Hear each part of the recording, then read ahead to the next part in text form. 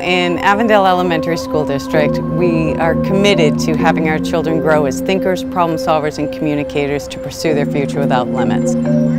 We wanted to get beyond the textbook and get beyond the conversations in the classrooms and have our kids be able to truly engage in STEM and STEAM opportunities.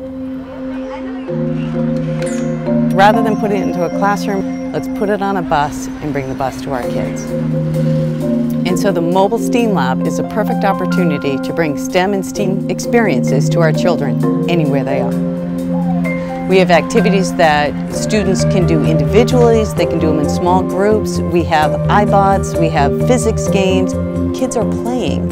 They're having these incredible revelations about the things that they're learning it's an immediate magical response. They're actually able to say, okay, I learned about this in school and now I'm seeing a different application where they can actually do it with their hands.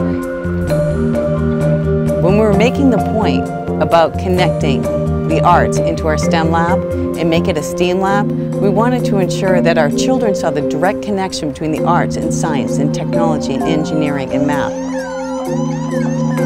Making those connections that really, if you look around you, you can experience every single day. All of this can happen because we can bring the STEAM lab to them. When they see this uh, blue and white bus coming down the street or parked in the parking lot, they know it's going to be a great day of learning and an opportunity that they may not have been able to have. We're just incredibly thankful to be able to bring this to our community.